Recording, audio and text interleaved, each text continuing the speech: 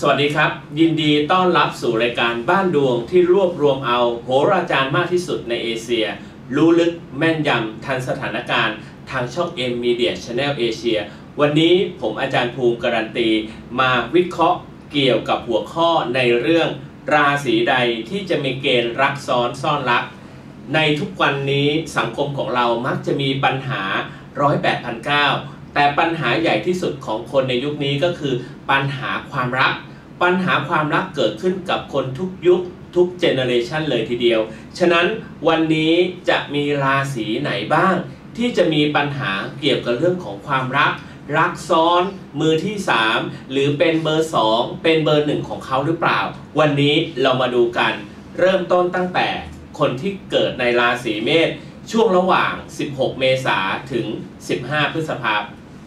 คนที่เกิดลัคนาราศีเมษ ตอนนี้ต้องบอกก่อนว่า หากคุณมีแฟนหรือมีคู่ครองอยู่แล้ว คุณมีโอกาสที่จะเจอรักซ้อนซ่อนรักอยู่ เพราะตอนนี้ดาวประจำตัวในเรื่องของความรักดันมาทับตัวคุณ ฉะนั้นการทับตัวคุณมันมีโอกาสที่คุณจะได้เจออยู่คนสองประเภทครับ ประเภทแรกก็คือ คนที่เคยมีคู่ครอง เคยผ่านการแต่งงานมาแล้ว มีลูกมีเต้ามาแล้ว แต่ปัจจุบันนี้คนคนนั้นยังโสดอยู่ หรือพูดกันภาษาชาวบ้านว่าเป็นไม้มาก่อนนะครับ ตอนนี้เขาเดินเข้ามาในชีวิตคุณ หากคุณมีคู่ คุณมีแฟน คุณจะรู้สึกว่ามีคนนี้เข้ามาขั้นกลางระหว่างตัวคุณกับคู่ของคุณ ฉะนั้นคนคนนี้ถ้าเดินเข้ามาเมื่อไหร่ คุณต้องพิจารณาอย่างลึกซึ้งอย่างถ่องแท้ว่าเขาเข้ามามีเจตนาดีกับคุณหรือเปล่า ถ้ามีเจตนาไม่ดี คุณสัมพันธ์ คุณเกี่ยวข้องหรือคุณมีไมตรีกับเขาไปแล้ว โอกาสที่จะเกิดปัญหาในเรื่องของครอบครัว ในเรื่องของคู่ครองของคุณก็จะเกิดขึ้นได้ อีกหนึ่งประเภท ที่จะมีโอกาสเข้ามาในชีวิตของคุณ ก็คือคนที่มีครอบครัวอยู่แล้ว มีคู่อยู่แล้ว แต่วันนี้เขารู้สึกว่าเขาขาดอะไรในบางสิ่งบางอย่าง แต่วันนี้เขาเดินมาเจอคุณ เขาได้เจอคุณ เขามีโอกาสที่ทำให้ตัวของเขาเองประทับใจในตัวคุณมากมายมหาศาลดังนั้นในช่วงระยะเวลานี้ คุณมีโอกาส ที่จะศึกษานิสัยใจคอของคนเหล่านั้น แต่อาจารย์อยากจะให้คุณพิจารณาอย่างท่องแท้เลยว่า คนที่เข้ามาหาเราจะดีหรือไม่ดี เพราะมันก็มีโอกาสที่คุณจะได้สารสัมพันธ์หรือได้สารต่อ หรือคุณสารไปแล้วโอกาสที่จะเกิดปัญหาในเรื่องของความรักกับครอบครัวคุณก็อาจจะเกิดขึ้นได้ ฉะนั้นเรื่องนี้คุณต้องตัดสินใจ แล้ววางแผนแต่เนิ่นๆว่าจะเดินหน้าหรือจะเดินถอยหลังดีนะครับ ส่วนราศีต่อไปที่มีโอกาสเจอรักซ้อนซ่อนรัก ก็คือคนที่เกิดในราศีสิงห์ช่วงระหว่าง 16 สิงหาถึง 15 กันยา คนที่เกิดในลัคนาราศีสิงห์ตอนนี้ ก็เหมือนว่าตัวเองเป็นที่หมายปองของคนรอบข้างคนทั่วไปที่เคยเห็น เคยรู้จัก หรือเคยคุยเคยพบปะกับคุณ ต่างรู้สึกว่าคุณมีอัธยาศัยไมตรีดี คุณมีเสน่ห์ ใครก็แล้วแต่ที่ได้คุยกับคุณจะหลงรัก จะหลงเชื่อ หรือจะศรัทธาในตัวคุณมากมายมหาศาล แต่ณปัจจุบันนี้คนที่เกิดลัคนาราศีสิงห์ตรงนี้ มีโอกาสที่คุณจะได้เจอคนอยู่ 2 ประเภท คล้ายๆ กับคนที่เกิดในราศีเมษก็คือประเภทแรก คนที่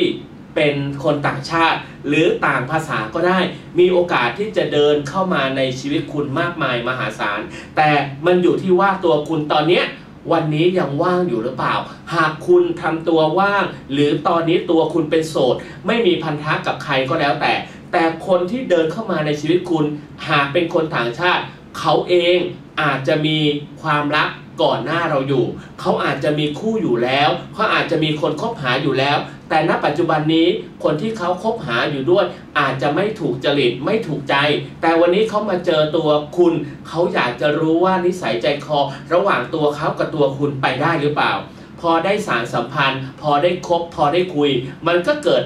ปาฏิหาริย์เกิดความรู้สึกดีๆ เกิดขึ้น ฉะนั้นตัวของคุณเอง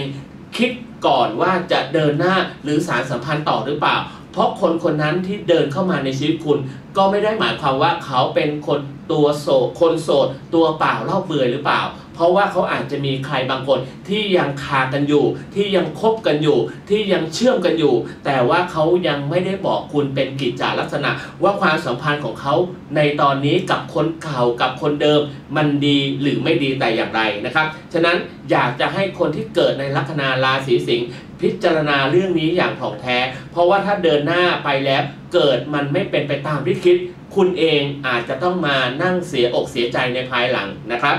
ส่วนคนที่เกิดในราศีกัน ช่วงระหว่าง 16 กันยาถึง 15 ตุลา คนที่เกิดในลัคนาราศีกัน ตอนนี้ก็ต้องบอกก่อนว่า คุณมีโอกาสที่จะได้เจอใครบางคน ที่จะต้องเดินเข้ามาในชีวิต ถึงแม้ตัวของคุณเอง วันนี้มีคนคบหาอยู่ มีคู่อยู่ มีแฟนอยู่ แต่ณวันนี้คนที่เดินเข้ามาหาคุณ เขาอยากจะช่วยเหลือ เขาอยากจะนำเสนอ อยากจะซื้อนู่นซื้อนี่ซื้อนั่นให้กับคุณ มันอยู่ที่ว่าคุณใจแข็งใจเด็ดใจเดี่ยวพอหรือเปล่า ที่จะรับไมตรีในสิ่งที่เขาหวานมาให้ ที่เขาโยนมาให้ ที่เขานำเสนอมาให้ แต่ที่สุดแล้วคนที่เกิดในลัคนาราศีกันตรงนี้ หากคุณคบหากับบุคคลที่เดินเข้ามาในชีวิตคุณ ในช่วงระยะเวลานี้ มันก็มีอยู่ 2 ทางครับ ทางแรกหากคุณมีไมตรีคุย หรือเชื่อมสัมพันธ์หรือพัฒนาในการคุยการคบหากันต่อไป คุณอาจจะได้ประโยชน์จากการที่เขานำเสนอในสิ่งที่เราขาดอยู่ เช่น อยากจะซื้อบ้านให้ อยากจะซื้อรถให้ อยากจะซื้อมือถือ อยากจะซื้อทองซื้ออะไรให้หมด เขามีโอกาสที่นำนำเสนอในเรื่องเรื่องนี้ให้กับตัวคุณ เพียงแต่ตัวคุณจะรับไมตรีในเรื่องเรื่องนี้กับเขาหรือเปล่านะครับ หรือประเภทที่สองที่เข้ามาในชีวิตคุณ เขาอาจจะอยากช่วยเหลือคุณ โดยที่ไม่ใช่ในเรื่องของเงินเงินทองทอง แต่เขาอยากจะช่วยเหลือคุณ ให้คุณประสบความสำเร็จ ในเรื่องของหน้าที่การงาน ประสบความสำเร็จมีชื่อเสียง มีตำแหน่งหน้าที่การงานที่ดีขึ้น แต่ความสัมพันธ์ที่มันผูกพันที่มันใกล้ชิด มันเลยทำให้เกิดความรู้สึกว่าตัวเขาขาดคุณไม่ได้ หรือตัวคุณรู้สึกว่าเขาเป็นคนที่ใช้ได้คนหนึ่งใช้เหตุใช้ผล ใช้ความนุ่มนวลนะครับตัวคุณเองอาจจะรู้สึกว่ามีปัญหามีปมจากคนรักเก่าเดิมอยู่ แต่พอเจอคนใหม่เท่านั้นแหละ เขารู้สึกว่า การเปรียบเทียบระหว่างคนเดิมกับคนใหม่ มันช่างแตกต่างกันเหลือเกินทำให้คุณนี่เกิดจังหวะ เกิดความคิด เกิดความรู้สึกสองจิตสองใจ ว่าจะเปลี่ยนแปลงหรือจะหยุดอยู่กับที่ ก็แล้วแต่คุณละกันว่าคุณจะ ตัดสินใจในเรื่องเรื่องนี้อย่างไร เพราะเรื่องแบบนี้มันนานาจิตตังครับ เพราะว่าถ้าแนะนำไปมันก็ไม่เป็นผลดี เพราะถ้านั้นแนะนำไปมันก็กลายเป็นเรื่องเป็นปัญหาในเรื่องของความรัก ฉะนั้นคนที่เกิดในลัคนาราศีกันอยากจะให้คุณตัดสินใจในเรื่องนี้อย่างละเอียดอย่างถี่ถ้วน และที่สุดแล้วคุณจะได้เดินทางหรือเดินในเส้นทางที่ถูกที่ต้องที่ควรครับสำหรับคนที่เกิดในราศีตุลนะครับ ช่วงระหว่าง 16 ตุลา ถึง 15 พฤศจิกา ตอนนี้มันมีอยู่2นัยยะ ในตัวคุณว่าคนที่เกิดในลัคนาราศีตุลในช่วงนี้ คุณโหยหาในเรื่องของความรักมาตลอดเวลา มาตั้งแต่ช่วงต้นเดือนที่ผ่านมาแล้ว การที่คุณโหยหาในความรัก แสดงว่าความรักของคุณในปัจจุบันนี้อาจจะไม่ดีละ อาจจะมีปัญหาความไม่ค่อยเข้าอกเข้าใจกัน ความกินแหนงแข่งใจกัน หรือการคุยการสื่อสารการพูดจา ช่างรู้สึกแตกต่างกันเหลือเกิน จนวันนี้คุณอยากจะปรับเปลี่ยน อยากจะเปลี่ยนแปลง อยากจะเจอใครสักคนหนึ่งที่เข้าใจในเหตุ เข้าใจในผล เข้าใจความเป็นตัวตนของคุณ คุณก็เลยเปิดใจกับคนใหม่ ๆ พอเปิดใจปุ๊บคนรักเก่าของคุณยังคาราคาซังยังไม่จบเป็นที่แน่นอนยังไม่ชัดเจนร้อยเปอร์เซ็นต์เลย แต่คุณเริ่มที่จะเปิดใจให้กับคนใหม่ ๆ แล้ว ฉะนั้นวันนี้คุณอาจจะต้องตัดสินใจเลือกทางใดทางหนึ่ง ว่าจะหยุดอยู่กับที่ใช้ชีวิตกับคนเก่าไป หรือจะเดินหน้าเพื่อจะไปหาคนใหม่นะครับ แต่ถ้าวันนี้คนที่เกิดในลัคนาราศีตุลอาจารย์มั่นใจว่า คุณจะตัดสินใจเรื่องนี้อย่างรวดเร็วทันใจ โดยที่ไม่ใช่หรือไม่ต้องให้ระยะเวลาในเรื่องนี้มันผ่านไปอย่างเนิ่นนาน คุณจะตัดสินใจภายในกรอบระยะเวลานี้ ไม่น่าจะเกิน 2 เดือนนี้ หรือไม่น่าจะเกินเดือนสิงหาคม ฉะนั้นหากคุณตัดสินใจในเรื่องเรื่องนี้แล้ว อาจารย์มั่นใจว่าคุณน่าจะตัดสินใจที่ถูกต้องนะครับ ส่วนคนที่เกิดในราศีกุมล่ะ คนที่เกิดในช่วงระหว่าง 16 กุมภา ถึง 15 มีนา คนที่เกิดในลัคนาราศีกุมตอนนี้ คุณเองตอนนี้ต้องเอาใจของตนเองไปผูกติดกับเรื่องคู่เรื่องความรัก หากคุณวันนี้มีครอบครัว มีคู่ มีคนคบหาอยู่แล้ว แต่วันนี้คุณเรื่องเลือกที่จะมีคนอื่นเข้ามาเกี่ยวพันหรือเข้ามาเป็นตัวเลือกของคุณ มากมายหลายคนเลยทีเดียว ฉะนั้นวันนี้หากคุณจะเลือกกับคนที่คิดว่าใช่ คุณต้องเอาความรู้สึกแล้วก็เหตุผลของคุณ เข้าไปผูกติดกับเรื่องความเป็นตัวตนของเขา วันนี้หากคนที่เกิดในลัคนาราศีกุม คิดอยากจะมีแฟนหรือคิดอยากจะมีคู่ คุณอาจจะเจออยู่ 2 ทางเลือก หรือ 2 ทางที่มันเป็นเป้าหมายสำหรับตัวคุณก็คือ คุณอาจจะได้คนที่อายุอ่อนกว่า หรืออายุเด็กกว่าคุณ มันถึงจะดีมันถึงจะใช่ แต่ถ้าไม่ใช่คนอายุอ่อนกว่าล่ะ คุณอาจจะเจอคนที่อายุมากกว่าก็จริง แต่นิสัยใจคอของเขาเหมือนเด็ก เหมือนคนที่ต้องคอยเอาอกเอาใจอยู่ตลอดเวลา หากคุณไม่ซีเรียสหรือว่าไม่แคร์ไม่มายในเรื่องของนิสัยตรงนี้ ยอมรับกับเรื่องแบบนี้ได้ คุณก็พยายามหรือคนที่ต้องค้นหา คุณที่พยายามที่จะพัฒนาความรักของคุณให้เกิดขึ้นเป็นผลสำเร็จ ในความคิดของคุณก็ได้ ฉะนั้นวันนี้คนที่เกิดในลัคนาราศีกุม หากอยากจะปรับเปลี่ยนนะครับในเรื่องของความรักแล้วก็ปรับเปลี่ยนได้ แต่ถ้าคุณยังคาราคาซังกับคนปัจจุบันอยู่ เชื่อเหลือเกินว่าคนคนนี้หรือคู่ของคุณคนนี้ เขาอาจจะไม่ยอมก็ได้นะครับ เขาอาจจะต้องยื้อยุด หรืออาจจะต้อง ทำอะไรให้มันเป็นเรื่องเป็นราว เพราะว่าความรักของคุณกับคนรักของคุณในช่วงระยะเวลานี้ เขารู้สึกว่าตัวคุณเองเหมือนเจ้าเหมือนเป็นสมบัติของเขา เหมือนเขาเป็นเจ้าของในตัวของคุณ ฉะนั้นหากคุณมีแฟนมีคู่ คุณต้องเคลียร์ปัญหาในเรื่องเรื่องนี้ ให้ซักเซสให้เสร็จสิ้นมิฉะนั้นแล้วปัญหาของคุณก็จะเกิดปัญหาอย่างต่อเนื่องไม่รู้จบสักที ไม่รู้ว่าจะสิ้นสุด ไปถึงเวลาไหนปีไหนในเงื่อนไขอะไร ฉะนั้นวันนี้หากคุณจะตัดสินใจในเรื่องนี้ ควรจะเอาเหตุเอาผล เอาสิ่งที่มันเป็นเรื่องที่ดีสำหรับให้กับอีกฝ่ายหนึ่ง ผมมั่นใจว่าอาจจะเคลียร์ในเรื่องเรื่องนี้ได้นะครับ ส่วนราศีสุดท้ายก็คือคนที่เกิดในราศีมีน ช่วงระหว่าง 16 มีนาถึง 15 เมษา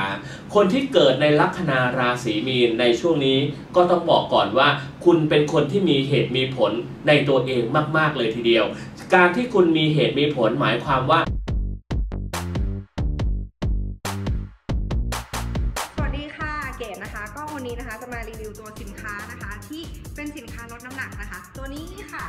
เขาเรียกว่า d n i m Plus ค่ะ เกดเองนะคะเคยมีปัญหาในเรื่องของการลดน้ำหนักนะคะ มากๆเลยนะคะ เป็นคนทั้งติดยาถ่ายนะคะ เคยลองในเรื่องของอาหารเสริมนะคะ มาเราเยอะมากๆ ไม่ว่าจะเป็นของไทยเรานะคะ แล้วก็ของต่างประเทศ ไม่ว่าจะได้รับรางวัลขนาดไหนก็ตามนะคะ ก็ยังเอาไม่อยู่ค่ะ แต่วันนี้นะคะ เปิดใจสุดๆนะคะ มาทดลองเจ้ากล่องนี้ค่ะ เม็ดเดียวนะคะ ตื่นมาใส่ปากได้เลยนะคะ ใช้เวลาทานนะคะ 1 กล่องนี้นะคะ ทานได้ 1 เดือนเต็มนะคะ ให้ทายว่าน้ำหนักเกดหายไปเท่าไหร่นะคะ ประมาณ 7 กิโลกรัมนะคะ ใครที่เชื่อนะคะ มาทดลองด้วยตัวคุณเองแล้วพบกันค่ะ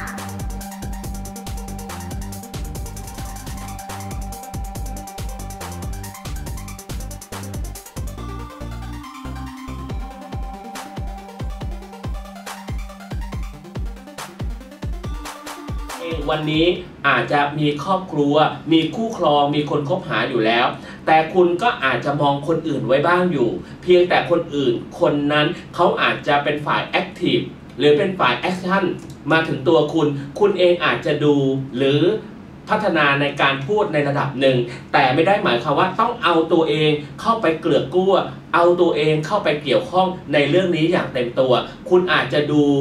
มีระยะเวลาห่างอยู่พอสมควร ฉะนั้น คนที่เกิดในราศีนี้หากมีครอบครัวอยู่แล้ว คุณเองยังดูดีในสายตาของคนในครอบครัวอยู่ แต่ปัญหาภายในหรือปัญหาในครอบครัวของคุณ คุณอาจจะแก้ปัญหาด้วยวิธีทางที่มีเหตุมีผลอย่างละมุมละม่อม หรือเหตุผลที่คุณจะต้องคุยกับคู่ของคุณ แฟนของคุณ ก็คิดว่าเหตุผลตรงนั้น แฟนของคุณคู่ของคุณอาจจะรับได้ หากคุณจะต้อง